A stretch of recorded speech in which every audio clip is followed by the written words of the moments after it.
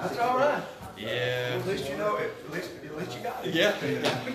I know where the cutoff is. Oh, my. Yeah, that's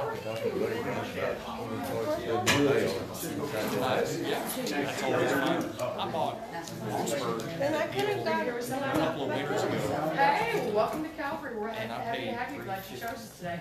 Today is your lucky day. We're having a Thanksgiving dinner. Can Picking the I- right day, My right? friend That's bought, right. Amen. All right. not a Daniel defense, but he bought, Yeah. And I had no idea. Hey, well, you he's know, jammed all the time. Yeah. Oh, really? I don't have any issues sunshine. out of it and everything. you sit down. I've been looking at getting a heavy barrel for it though. hey, I love.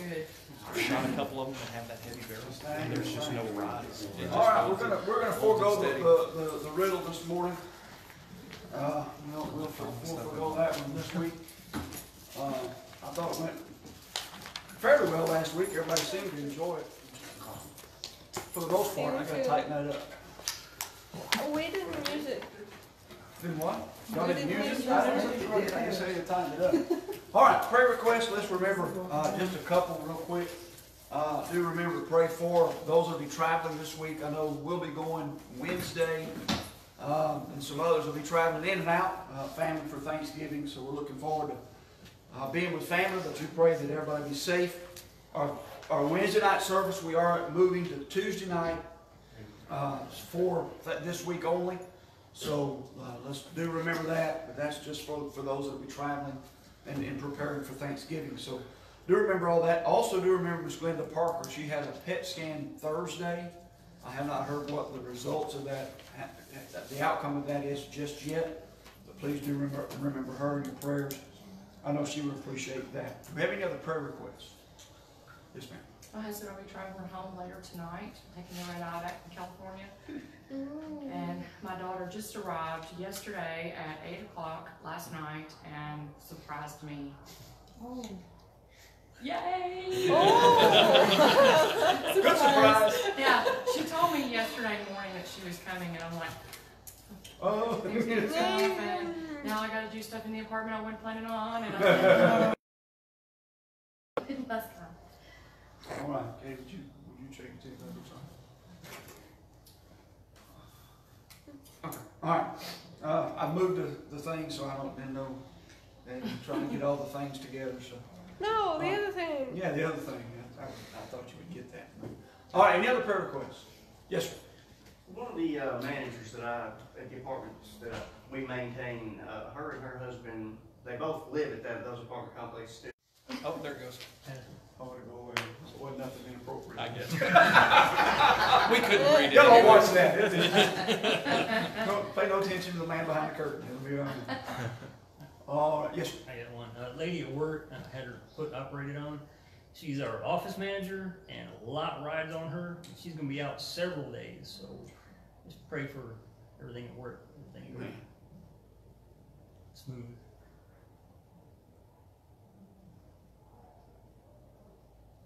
Okay. Anyone else? Good to have our visitors with us today. I chose the right day. It'll- It'll be wafting in here in a little bit. It'll be, it'll be all right. Preach fast. Yeah, preach fast. The door's closed. That'll be bad. All right. Let's go, Lord, in prayer, uh, and we'll jump right into our lesson this morning. Father, we're thankful for the day. What a joy it's been already to, to have fellowship with your people.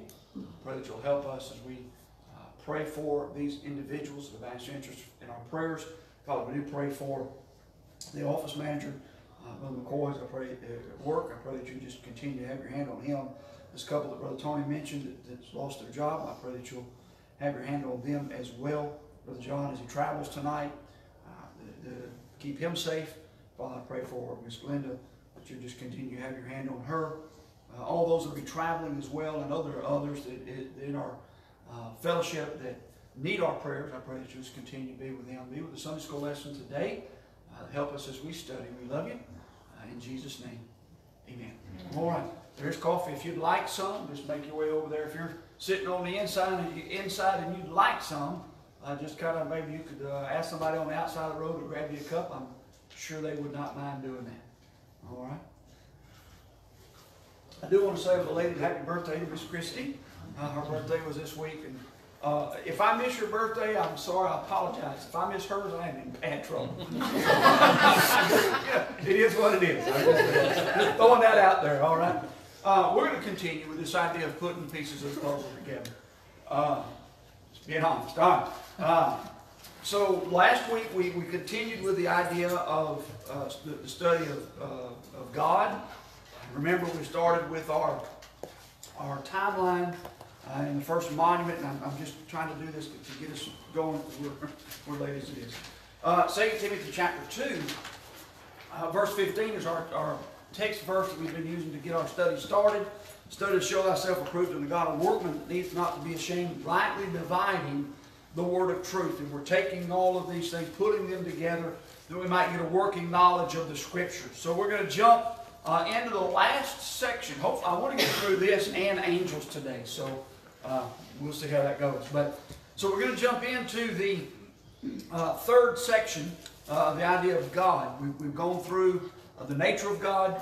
We've gone through the names of God. Uh, now we're going to pick up here with the last part, the attributes. And again, we're going to cover this fairly quickly because we've already done a lot of this uh, in our regular preaching services. Uh, mentioned, uh, that mentioned, I think it was Brother Bruce. He and I were out yesterday uh, knocking on doors, and, and I, I think it was, I don't remember. Um, yeah, well, I think it was it- it's hard for it's hard for me to to, to remember exactly when I covered what, and, and so if, if I mention something, it's going to be in one of the three services during the week that we cover, three or four, four counting Sunday school. Uh, so you need to come to all four to get the whole picture because they all cross over. Uh, so that's just. Uh, by the way, that's just an advertisement for, for, for, for coming Sunday morning, Sunday night, Wednesday night as well. All right. Um, so we did this with the attributes uh, already, so we're going to do it very quickly. Notes. Uh, I think we're still working on the same. I don't know if I have any more Oh, yeah. full sets. I don't think I do. Do You want the second page, that we want to do? Uh, is that going to be the second page? I mean, when you go make some copies It's of the it. second and third page, he's hoping to get to the third page. other one was what? Let's see. Da-da-da-da. Of It's, course, that's all the first page. You want me to go make a copy? Yes, if you don't mind. If you don't mind. I've it's got the a couple bottom up here, half but of they're the not. second page. Bottom half of the second page, that's what I mean. All right, so we start talking, looking about the attributes of God. Remember, we're talking about breaking the Bible down into bite-sized pieces. And uh, we started talking about God. God's from everlasting to everlasting, so there's no beginning, no ending with God. So the best, best place to start is with God. Remember, we started the, the very first verse we looked at once we started talking about God was in the beginning, God. And just that simple statement uh, that God is in the beginning. Which one? Doesn't matter. Pick one, He's there. All right, so we started off with God. We talked about His nature. Uh, we talked about His names and how He revealed Himself to us. Now we're going to start talking about some of His attributes. Uh, the first one we need to realize is that He is self-existing, and that's that's eternal, uh, everlasting everlasting, self-existing. The verse is Exodus chapter 3, verse 14 and 15. God said to Moses, I am that I am. Can, I, can we connect, the, uh, I didn't look up the verse, but can we connect to the New Testament, uh, this, this verse of Scripture? When they came to arrest Jesus in the garden, and the mob meets him there in Gethsemane. And I'm not going to get this exactly right. I'm just going to quote it instead of quote it. But uh, he gets there, uh, and the mob finds him, and Jesus asked him, Whom seek ye? And they respond, Jesus of Nazareth. And his response to them is, I am. That's what he says to them. He responds just the way God talked to Moses in the Old Testament when God said uh, unto Moses, I am that I am. And he said, Thus shalt thou say unto the children of Israel, I am hath sent me unto you. Jesus responded to them the same way. I am. And when we look at God, we understand He's self existing. He is the I am. He always has been, He always will be. He needs nothing else to complete Him. He is self existing. All right? Uh, also, we'll find that He is self sufficient. He is self sufficient. You realize we need Him, He doesn't need us. Now, He created us for fellowship, and He created us that we might worship Him. But re- remember, there came a point in time where mankind corrupted themselves, and God did what? God sent a flood and destroyed all of them. He didn't need them, they needed him. Right? He is self-sufficient. Psalm 50, uh, verse 10 through 12 deals with that. For every beast of the forest is mine. Cattle upon a thousand hills. I know all the, fowl, uh, the fowls of the mountains. The wild beasts of the field are mine. If I were hungry, I would not tell thee, for the world is mine and the fullness thereof. So he just states very clearly he is self-sufficient. Number three, he is eternal. He is eternal. Now this is, I I know, elementary. I understand that. Uh, we've already talked about him being everlasting to everlasting, no beginning, no end. He is God. I am Alpha and Omega, Revelation chapter 1, verse 8. The beginning and the end, saith the Lord, which is, which was, which is to come, the Almighty. Pause for emphasis. Which is the Almighty, which was the Almighty, and which is to come, the Almighty. We serve an everlasting, eternal God. He's omnipresent. Uh, that means He's everywhere. We cannot go anywhere to get away from God. God is always there. Uh, he is always present. He is infinite in relation to space. Right? He, he permeates everything. I don't understand everything about the verse of Scripture I'm fixing to read to you. All I know is it's in the Bible, and therefore I believe it's true. All right? Look at what it says. Whither shall I go from thy spirit? Whither shall I flee from thy presence? If I ascend up into heaven, thou art there. If I make my bed in hell, behold, thou art there. I don't understand that statement, but it's in the Bible. If I take the wings of the morning and dwell in the uttermost parts of the sea, even there shall thy, thy hand lead me, thy right hand shall uphold me. I'll, I'll just quote Pastor Dan Carr from, from South Mississippi. He'd say this, I'm not sure what that verse means, but it means something. Amen. We'll just keep praying and keep searching, and one day maybe the Lord will reveal it to me, all right? Uh, but He is omnipresent. The next one is He's omnipotent, means He's all powerful. He's all powerful. What, it, this, this deals with, with infinity in relation to energy. We talked about infinity in relation to space. This is in relation to energy. There is nothing that he cannot do. Now, there are things that he chooses not to do.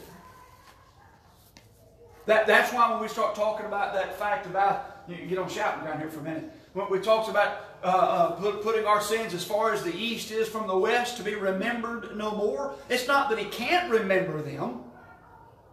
It's that as a holy, righteous God, he chooses not to remember them. You know, we, we, we forget things. Uh, I forget things quite often. He, he never forgets anything unless he chooses not to remember. That, that, ought, that ought to excite us just a little bit because God says our forgiven sin, he chooses not to remember. All right, I, I say I'm I'm gonna go, go to preaching in a minute. All right, if you need a copy of the notes, ready, ready, I, I, I made a couple of them. All right. Is anything too hard for the Lord? Genesis 18, 14. Is anything too hard for the Lord? At the time appointed, I will return unto thee according to the time of life, and Sarah shall have a son. Now, what's the significance uh, of, of verse 18, uh, verse 14 in Genesis 18? How old was Sarah? Yeah, 90 years old. She even have a youngin. You know, I don't know there's anybody in here going to line up for that for that job, but uh, you, you know that that was going to that was that, that that job staying vacant right there. 90 years old. Sarah laughed. I mean, she did. She thought, yeah, right. You know, I'm past the years of childbearing, past the age of all that stuff, and and God said, yeah, is there anything too hard for the Lord? And guess what happened? Yeah, exactly. All right. Then we talk about his omniscience, knowing all things. God is omniscient. If we could get a hold of these three omnis, uh, that it would change the way we, we look at God. He's omnipresent. He's everywhere. We cannot get away from Him. He is omnipotent. He's all powerful. There's nothing He cannot do. He is omniscient. Uh, that's his deals with with infinity in relation to intelligence. He knows everything. All right, uh, not just from the idea of calculus and, and, and trigonometry, uh, but but He knows every minute detail of our life. You, you realize you realize that nothing nothing uh, was it has it ever occurred to you that nothing has ever occurred to God? God never woke up one, mor- one morning and went, "Oh wow, never thought about that before."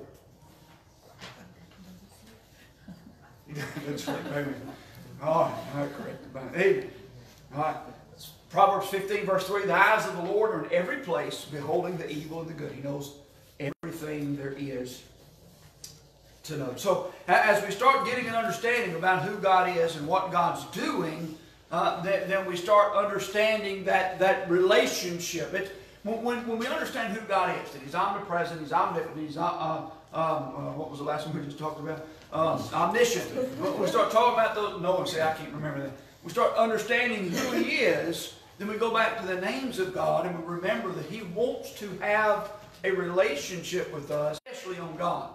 Uh, there, the, the, what he say in the book of John, if, if everything that, that even Christ did while he was on earth were written in, in books the skies couldn't contain, the, the earth could, I mean, just there's no way you could contain everything there is about God. That gives us a kind of a working understanding, all right? So we're going to move into this idea of angels. That's the next monument in our age that we're looking at. We're looking at the pre-Adamic age, before Adam.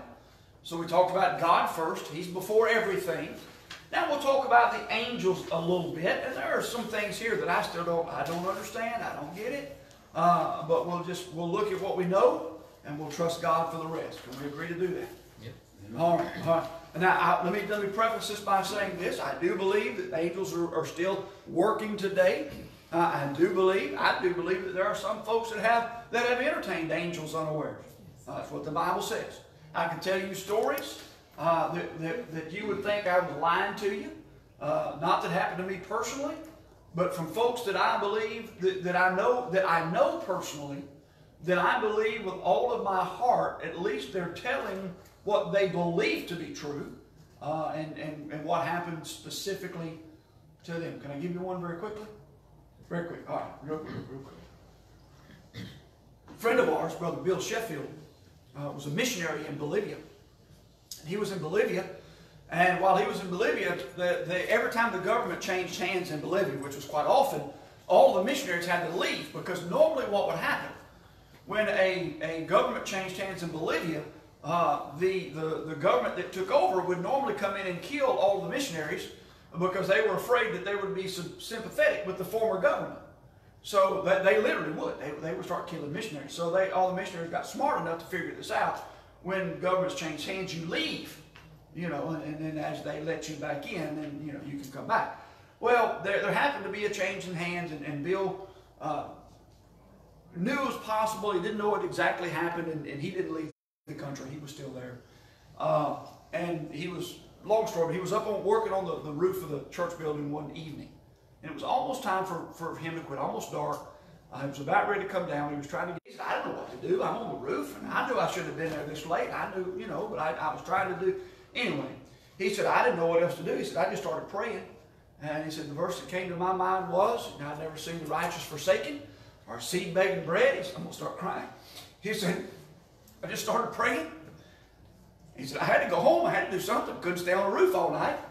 He said, so I got to the ladder and I started down the ladder and I just began just praying, God, I need your protection. And he said, I walked, got down to the end of the ladder and he said, the guys surrounding him all stood there. They were telling him exactly what they were planning on doing to him. And he said, I just started walking toward the house. I got to the edge of the, the, the ring of men. He said, they opened up and I walked through and he, he said, they followed me all the way home. And just hollering at me, telling me what they were going to kill me and all these things were going on. He said, I got home, got in the house, locked the door. They stayed outside for a while. I don't know, remember exactly how long he said. Uh, And finally they dispersed and, and, and went their separate ways. Well, thank the Lord. He was praising the Lord over that. He said, a couple of weeks later, he's back at the church. Uh, and a gentleman comes up to the, to the church and says, uh, Preacher, I need to talk to you for a second. Preacher says, Okay. He said, uh, You know who I am?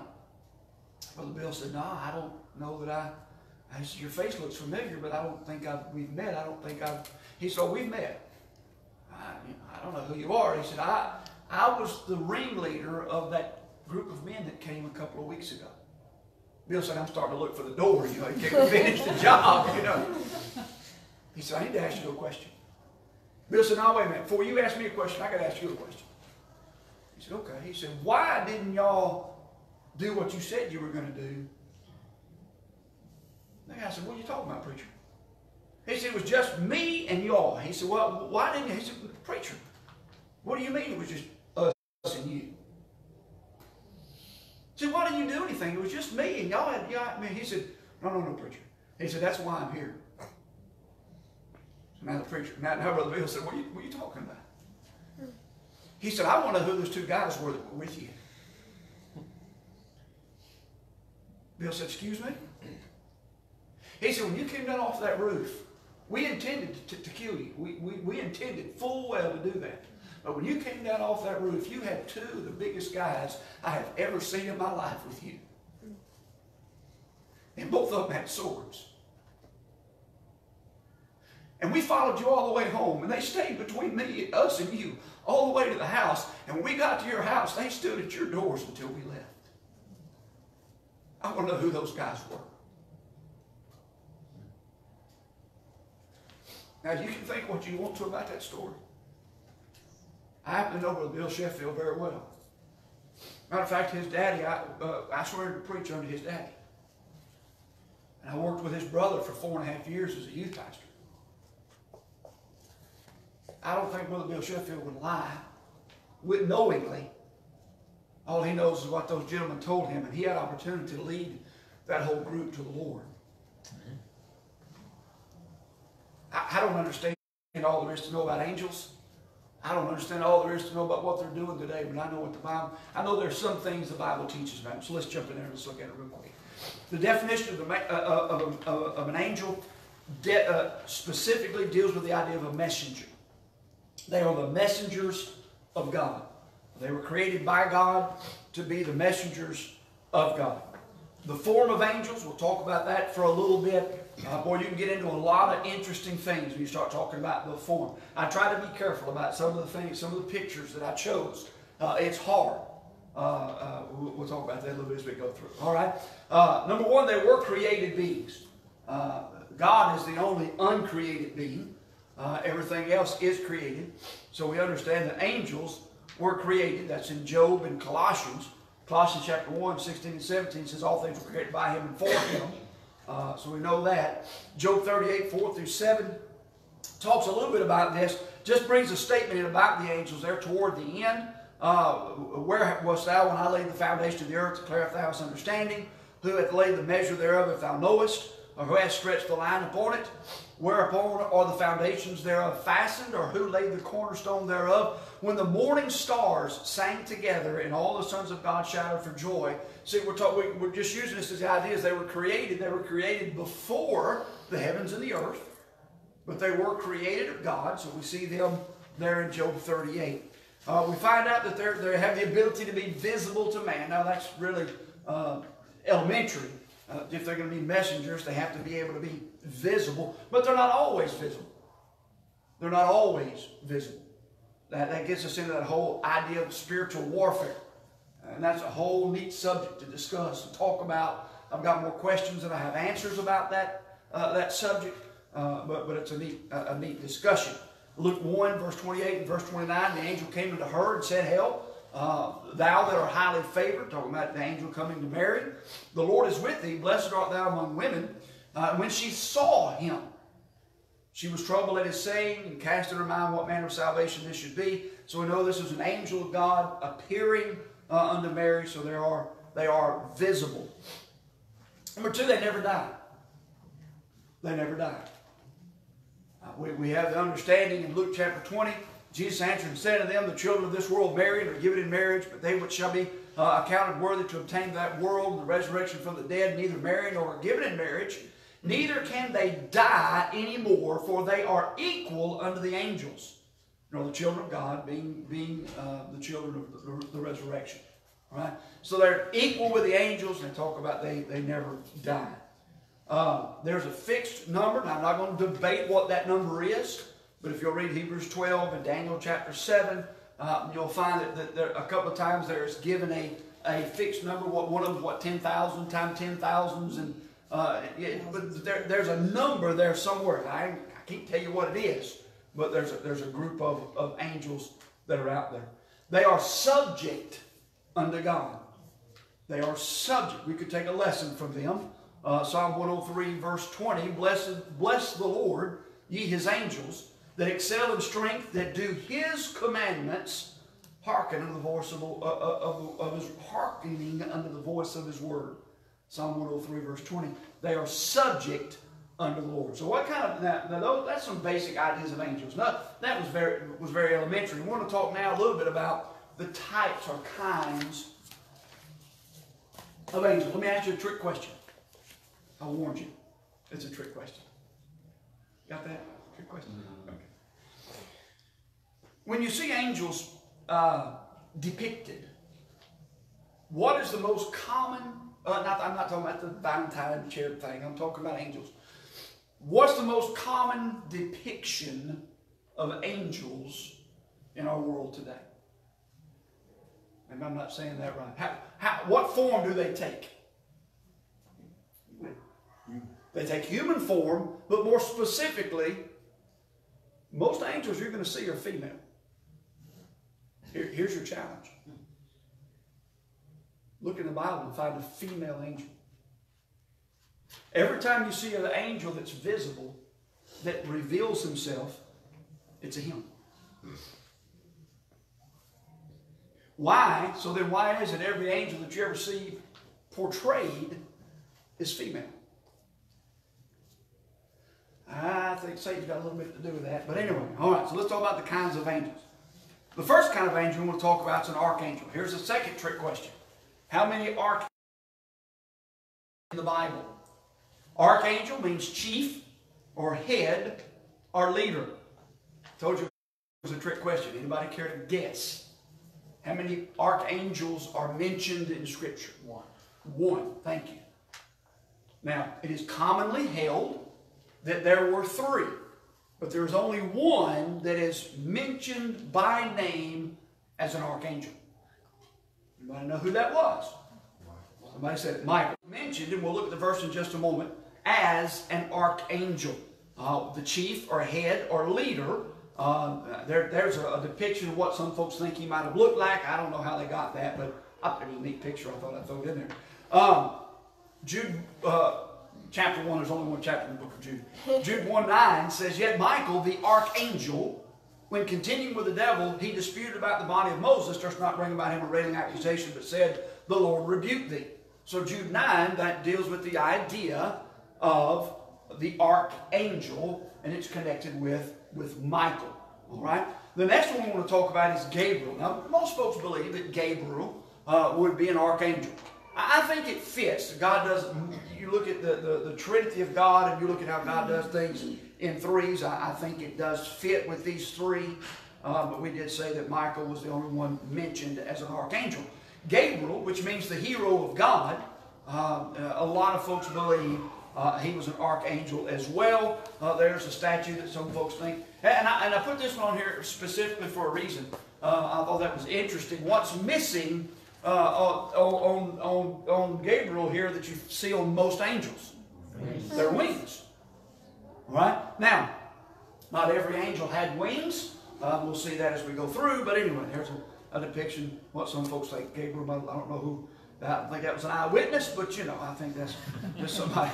and the angels answered and said unto him, I am Gabriel, that stand in the presence of God, and am sent to speak unto thee and to show thee uh, these glad tidings. And that was the Christmas story there, Luke chapter 1, verse 19. So we find Gabriel mentioned as uh, there as well. And then the third um, supposed archangel would be Lucifer.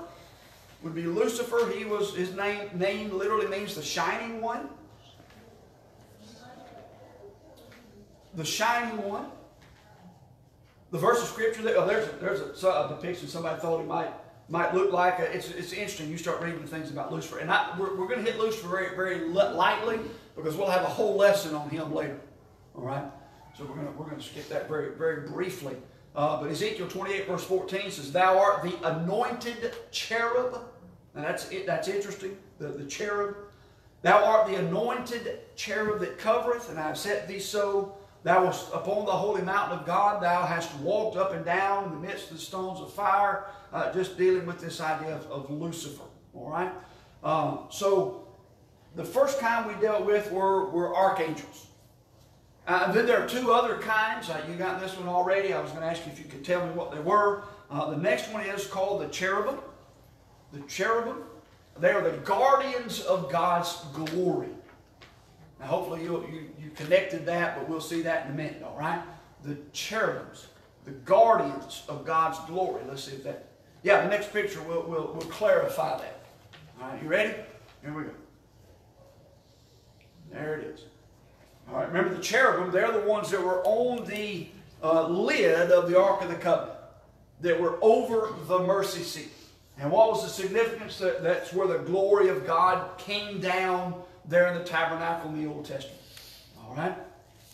Psalm 80, verse 1, it says, Give ear, O shepherd of Israel, thou that leadest Joseph like a flock, thou that dwellest between the cherubims, shine forth.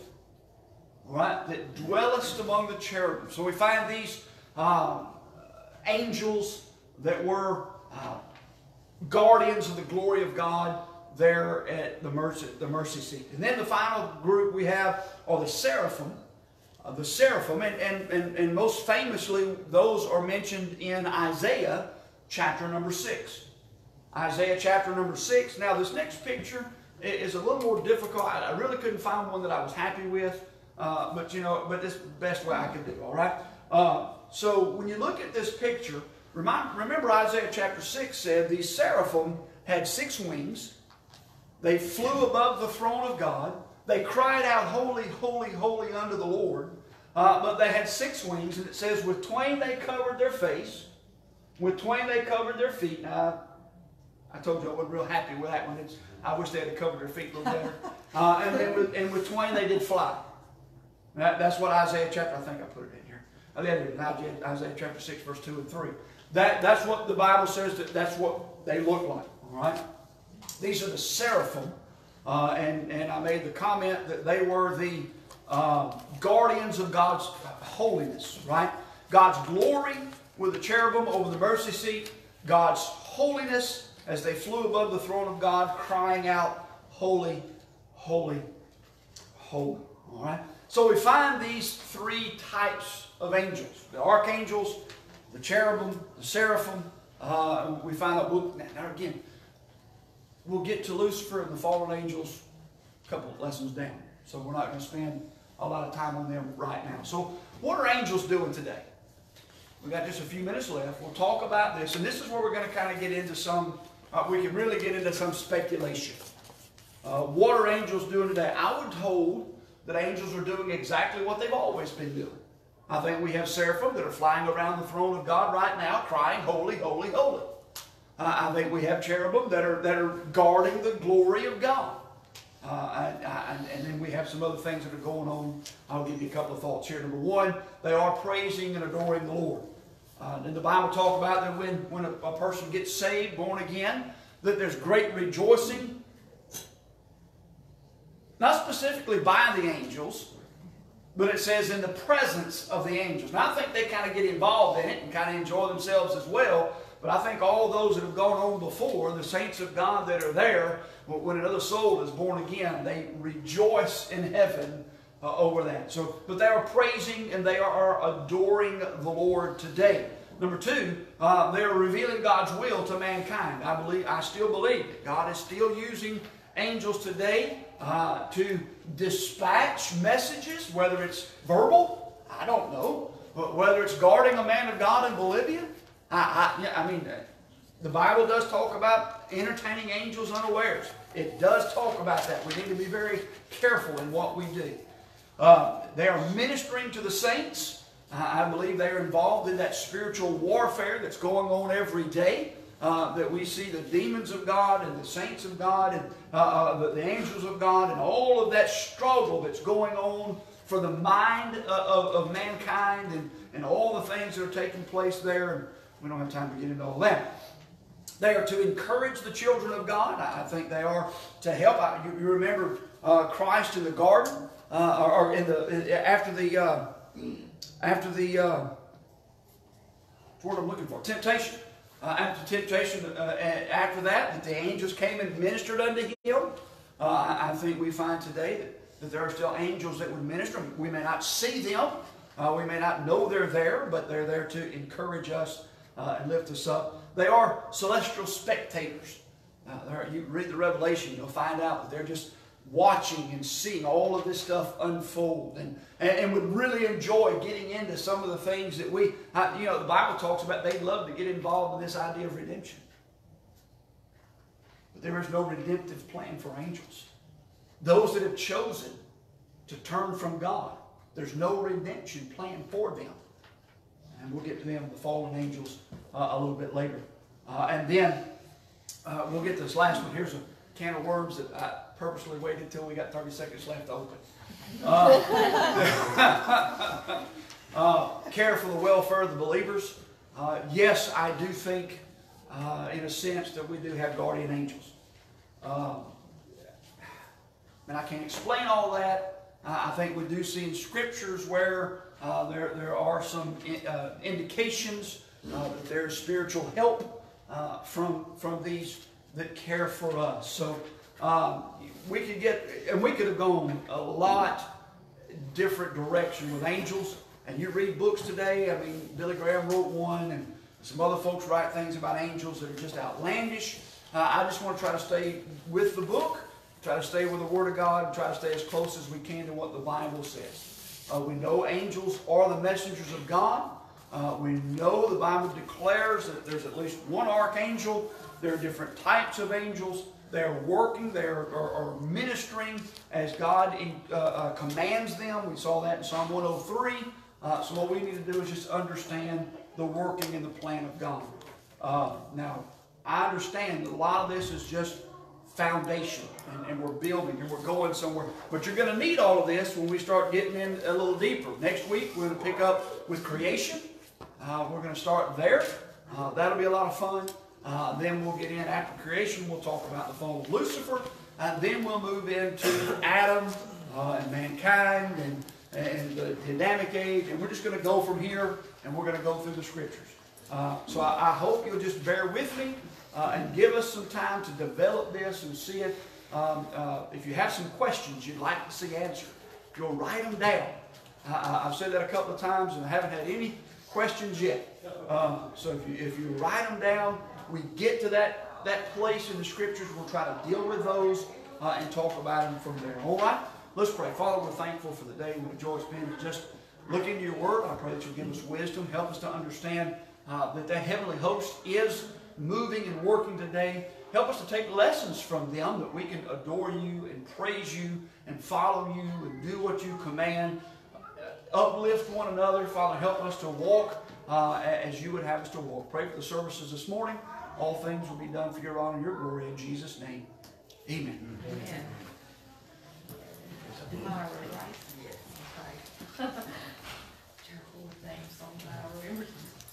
Sure.